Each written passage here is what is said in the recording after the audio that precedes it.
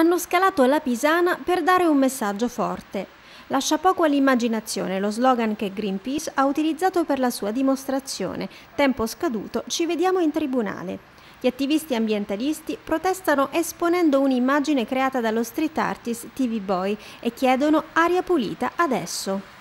Il mancato adeguamento del piano di risanamento per la qualità dell'aria regionale alla normativa vigente causa un problema di salute pubblica, sostengono gli attivisti, e contro una situazione che definiscono pericolosissima non esitano a rivolgersi in tribunale.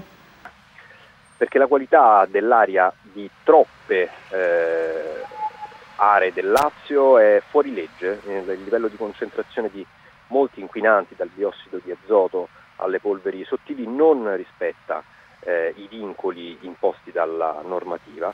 E la Regione Lazio, che ha un uh, ruolo di responsabilità nella tutela della salute dei cittadini, eh, è sostanzialmente inadempiente, ha un piano di risanamento della qualità dell'aria vecchissimo che si è già dimostrato inefficace, eh, che addirittura risponde a una normativa vecchia che nel frattempo è stata superata e sulla base di quel piano ad oggi il contrasto all'inquinamento atmosferico nella nostra regione è veramente pochissima cosa se non nulla.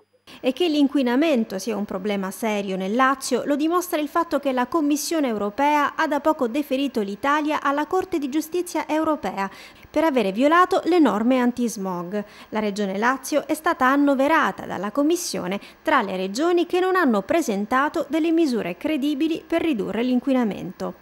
Che si sia ambientalisti o meno, un adeguamento del Lazio alle norme vigenti appare non ulteriormente derogabile.